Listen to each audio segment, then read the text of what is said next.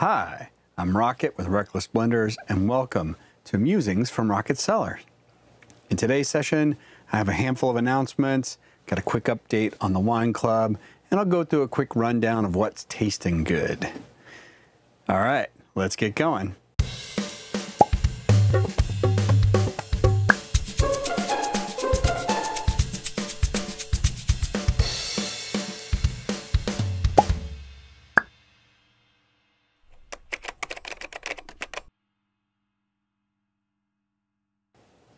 So, the first announcement all right, curbside days. They have served their purpose. We are going to say thank you very much and send them on their way. And now we're going to introduce Wreckless Wine Days. All right, Wreckless Wine Days have the exact same format and the exact same timing as Curbside Days, but we really want to embrace the new name. So, starting July 31st, 2021, we'll have the first Carmichael Wreckless Wine Day. It's going to be freaking hot, so we will figure out a way to keep us cool. Um, we need to be safe because there are Delta variants running around and all that. Got to do some balance and work and keep you cool and keep you safe. But we are so totally looking forward to that. So, just a quick recap on the first Saturday of the month is the Concord Wreckless Wine Day. And on the last Saturday of the month is the Carmichael Wreckless Wine Day. That's the normal pattern. I strongly encourage you to keep an eye out either on the website, on the Facebook page, or in your emails for any announcements to changes to the, that timing. We've had a handful of them recently. For example, early July in Concord, it was super hot. So I had two wreckless wine days. Actually, at that time it was it was curbside days later in the day. One on Friday late in the day, and one on Saturday later in the day. And those are the kinds of shifts that we're going to make as we get closer.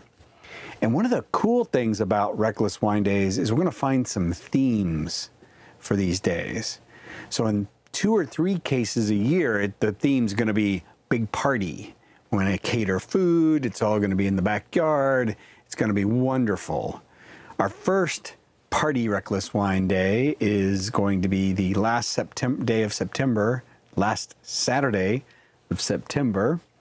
And that's going to be a great opportunity. We're going to have a bunch of different wine ability, you know, things to try. It's going to be a wonderful time. We'll have some catering. We'll take it from there. So keep an eye out on for those kinds of things. Other themes we might do is like a Barbera day. We might do tasting days, um, blending days. I mean, uh, where you know here's a handful of things and have fun blending yourself. We don't know exactly where this is going to go in terms of the themes. We're very much uh, in early stages around those thought processes, but we are so looking forward to making that as part of the lineup for you.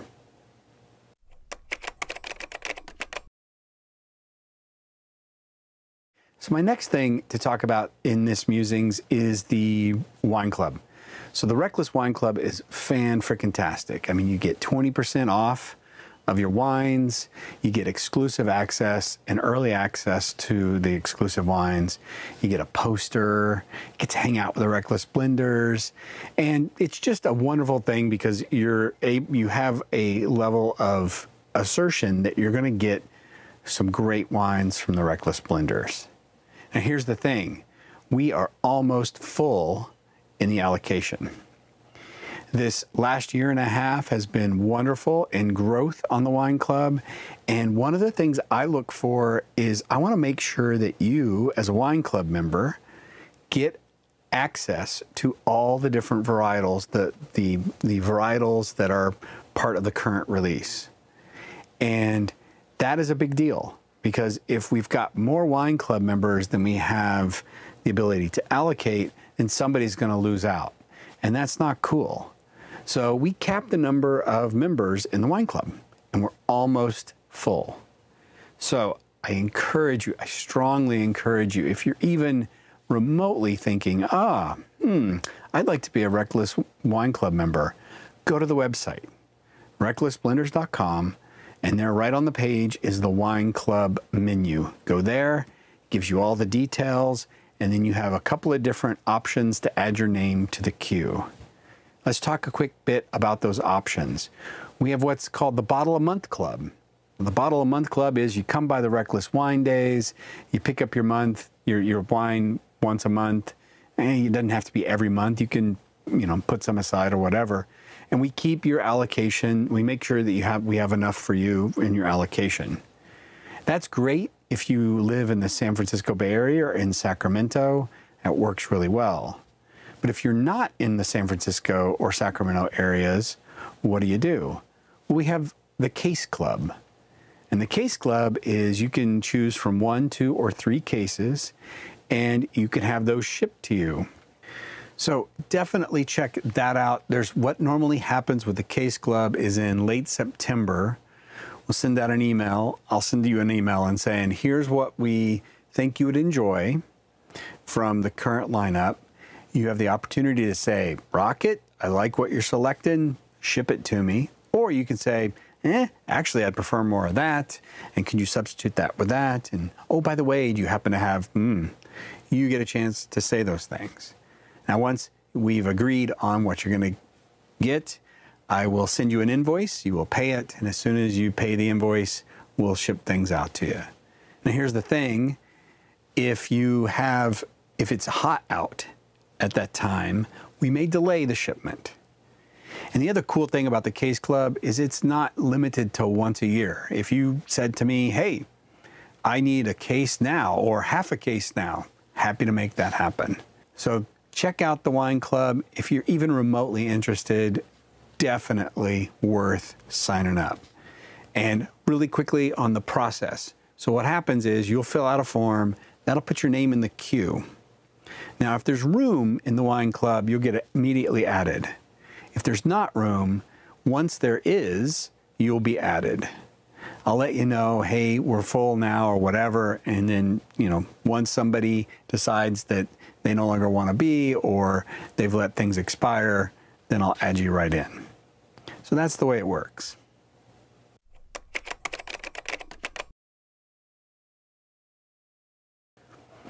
Last thing in today's musings, what's tasting good?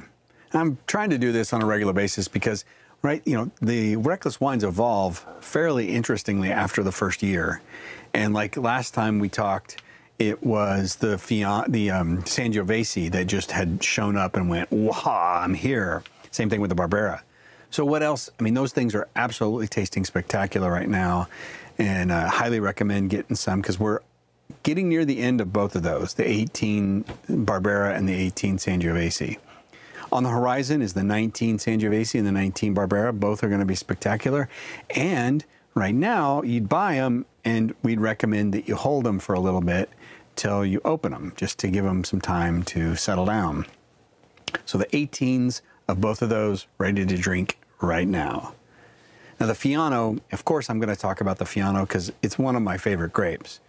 Now, sly wink and a nod because every one of these wines is my one of my favorites. So, but the Fiano right now is an extra favorite. it is just showing up beautifully across the board. The color, spectacular, just so unique and different. And it's crisp and it's clean. It's got this beautiful minerality to it, some floral notes. Oh my God, it is so wonderful. And I love how different it is from the traditional wines that we normally have here in California. You know, it's not a Chardonnay, it's not a Sauvignon Blanc, it's not a Pinot Grigio. It is its own thing. Like Viognier, not a Viognier. Viognier is unique in its own way, right? It's got that rich, meaty, yummy flavors to it. This is not like that at all either. So it's its own adjunct and definitely worth picking up you know, as much as you can, you know, you think you would enjoy. And right now, when it's really hot, perfect time for Fiano. Another one that's drinking over the top good is the Sagrantino. Now, the 19 Sagrantino, consider that a young wine. I mean, it is something that is like, really, 19, bottled six months ago, whatever.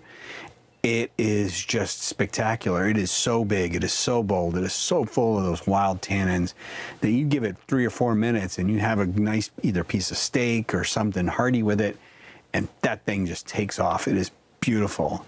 And it's a limited supply, so it is not a full on. It's a limited release, so you want to make sure you pick some up, and especially as a wine club member, because right now you've got that little extra special discount through the end of the month. Take advantage of that. Mm-hmm. Not seeing a lot of people going, oh my gosh, there's that extra ten percent off."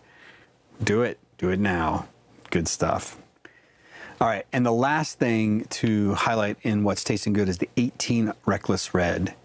Now, right there, I mean, the Wreckless Red in, in and of itself is a, usually a blend of five to seven, sometimes nine different varietals. And the 18 took a little while. I mean, it was really good right away. And now it's hit that I've all the the house members have figured out how to live together and now they're all doing some really interesting and fun things and so it, the taste is just reflects that and it, i sold a case of this recently what a great, uh, great, somebody really understood what was good about this and said, give me a case right now. And we're, so we're getting down near the end of this. Uh, again, it's another one that uh, is is almost out. So if you're at the next curbside, ah, wait, not curbside. If you're at the next Wreckless Wine Day, make sure you get some of this 18 Wreckless Red, check it out, and pick some up.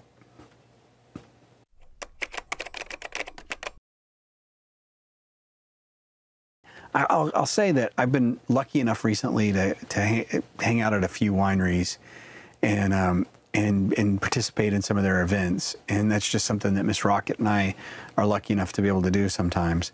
One of them was Bouchaine, which is in the Carneros region up in Napa. And relatively new facility, gorgeous, just beautiful. We got invited. Um, one of my coworkers uh, is his wife is works there, and they were having a uh, a situation where they were bringing a drone crew in and going to record a bunch of the grounds for some of their advertisements. And he's like, "Hey, you want to come in and, and be part of the drone party?" I'm like, "Yeah." He's like, "Well, be here at 9:30." I'm like, "I'm a professional. I'll be there at 9:30."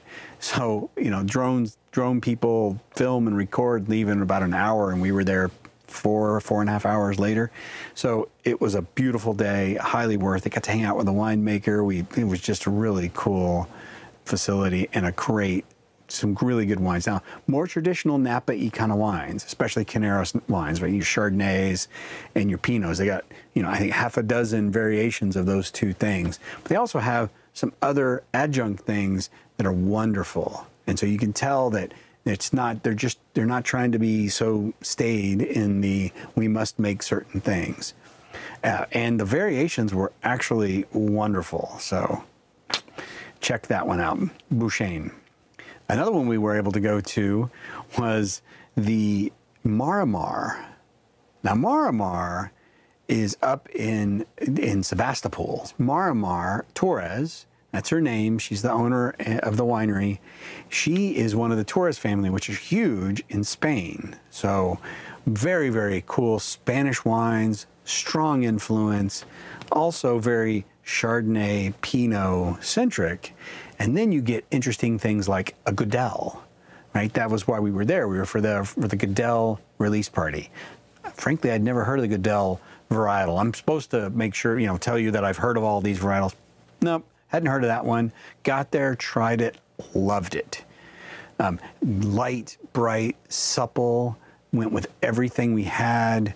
And uh, yeah, so it was a lovely, lovely time. And then they have some Albariños and some other Spanish influence that is just fantastic. And their events are top notch as well. Like there's a paella thing, um, there's flamenco dancing. Yeah, they've got all sorts of really great things up there. Marimar, M A R I M A R. If you're ever in that Sebastopol area, highly recommend checking it out. Well, that's all for this update. I hope you're staying safe. Keep yourself sane. Make sure you're paying attention to those things around you. Make good decisions. Drink some wreckless wine. I'm Rocket. This has been another Musings from Rocket Cellar.